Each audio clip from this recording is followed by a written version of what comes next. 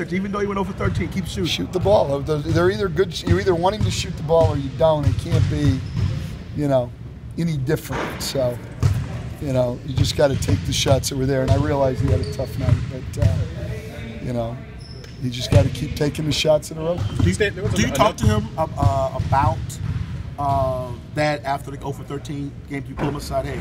No, I didn't pull him aside. I just, but I said to everybody after the game, you know, it, it's not if you've made two in a row, three in a row, now you take a one-legged fadeaway because you feel like you're on, and it's not like you miss three in a row and you pass up shots.